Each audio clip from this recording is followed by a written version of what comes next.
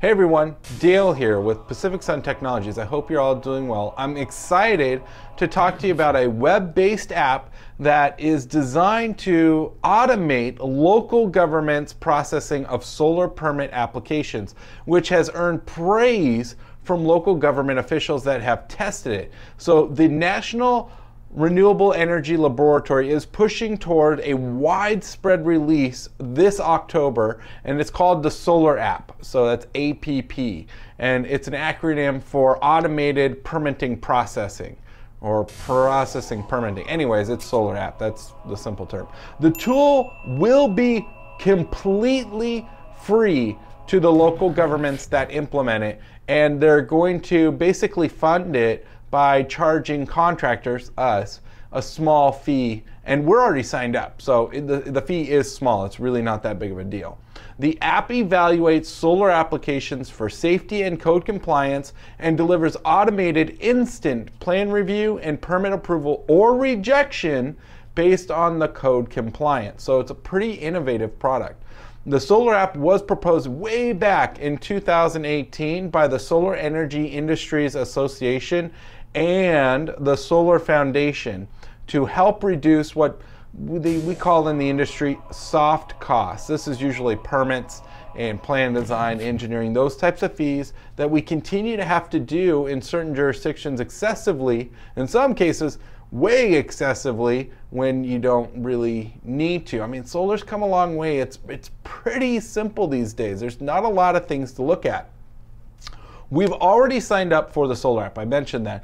As a local government in our area actually has implemented it, and it was the city of Menifee. So big shout out to you guys for being a beta tester.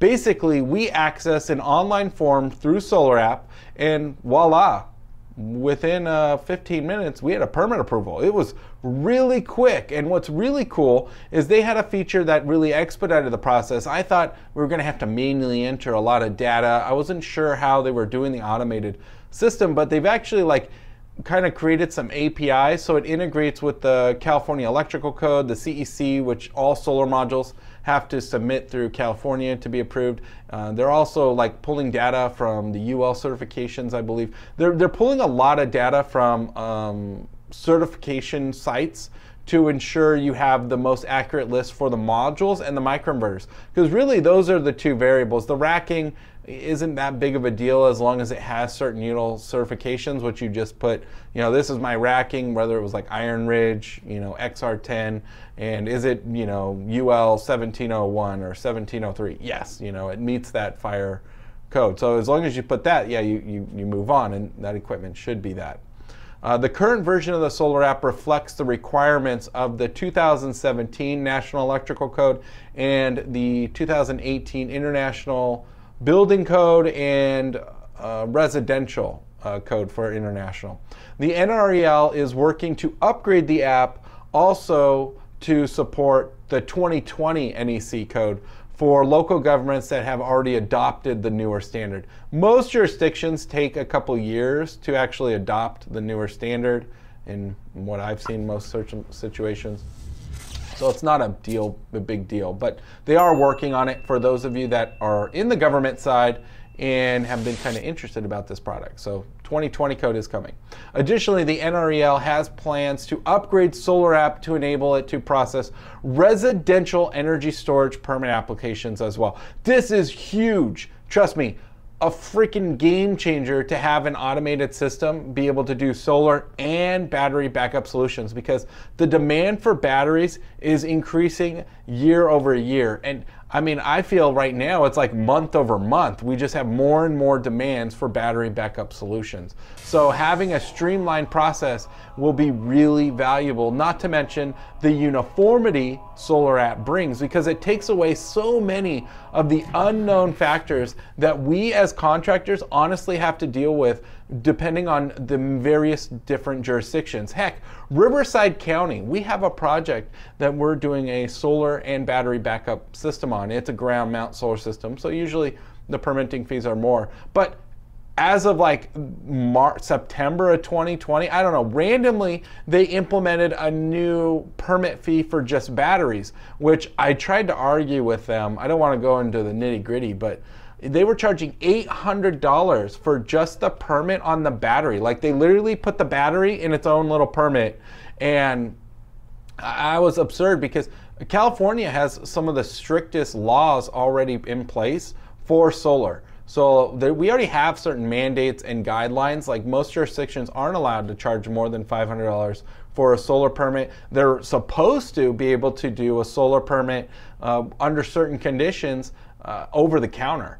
Um, many of them, I don't know a whole lot that do it currently over the counter due to the pandemic, but many of them are taking two to three weeks. So a lot of them, you know, we have these state mandates that, you know, these bills that had passed, but many jurisdictions actually just avoid them altogether. And I honestly don't even know, you know, what the repercussions are. Like Riverside County, because I tried to argue with them over that $800 fee. We ultimately had to pay it because, you know, going through the ladder of administration wasn't really getting us anywhere. And the only person, you know, that was being affected was that customer. So we paid the $800 and proceeded with the project and got our permit. But it's absurd, you know, that's one jurisdiction as an example that's, you know, overly charging on fees on a battery, you know, for backup. So that's something that could be avoided with the solar app implementation implementation. Now, this type of tool is well overdue. I mean, it honestly is for the solar industry, and we will greatly benefit from all parties. So not just the homeowner and the local government, but the contractors are going to benefit, you know, because we're going to have uniformity. We, we're going to be able to bring costs down on the plans and permitting side of projects because it's going to be automated. Like either you're installing something that's code compliant or you're not. I mean, that's really where we're at these days with solar. And honestly, solar permits account for nearly one third of all building permits pulled here in the state of California.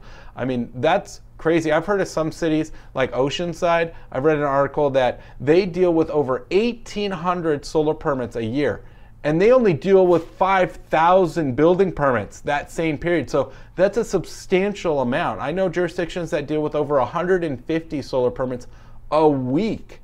I mean, the amount of resources you need for someone to review stuff, which most of it's cookie cutter. It's, it, a lot of it's the same thing over and over, but having those people there to review 150 projects is costly and very time consuming. So a tool like this is well overdue. We strongly, I personally am strongly encouraging any of you that watch our channel and are subscribed that you share this video with your local government. Tag your city, share it on Twitter, share it on Facebook, and tag the mayor, tag the building officials. If you work in the city, bring it up in a meeting because this tool will save money and resources and have those of you that work in those local governments be able to spend your time working on other building permits that actually need your review and oversight.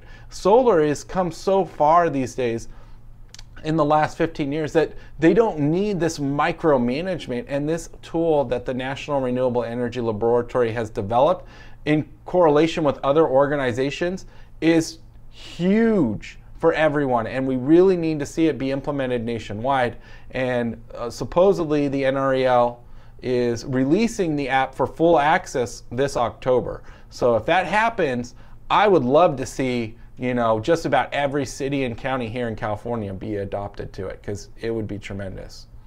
Well, thanks for watching this week's video. I really appreciate it. Um, I'm super excited about the solar app. I really hope you as a consumer are. And like I said, share it. We want to get this information out there. You know, we want more in more cities and more counties to adopt this type of tool. It costs them absolutely nothing. So there can't be the excuse of we don't have taxpayer dollars because it's freaking free. So you can't say you can't implement something that costs you nothing. And that's awesome, you know.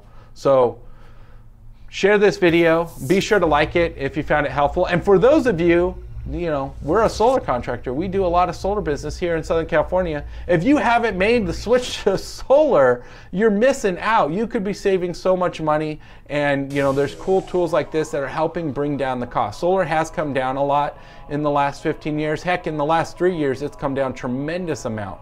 But it's not going to continue to go down. We have seen price increases due to the inflation of the cost of materials because solar uses precious metals and materials. So you know, it's really important that you consider going solar now rather than later because this is probably as low as it's going to get. I really have a hard time thinking equipment manufacturers could decrease the prices after the cost of the goods that have gone up. We saw about a 6% increase um, in Q2 to Q3 from all manufacturers LG, Enphase, Qcell, um, REC, I mean, and SolarEdge, everybody in the industry the cost of copper, the cost of glass, silicon. Um, let's not forget about chips that they have to manufacture, PCB boards. All those things are manufactured throughout the entire world. This is all a global thing. So those goods went up and so did the materials. So I don't see prices going down again anytime soon, but they're pretty stable right now and it's a great time for you to make that switch. So use that link down in the description below so that way you can start saving money today. Thanks again for watching. Until next time.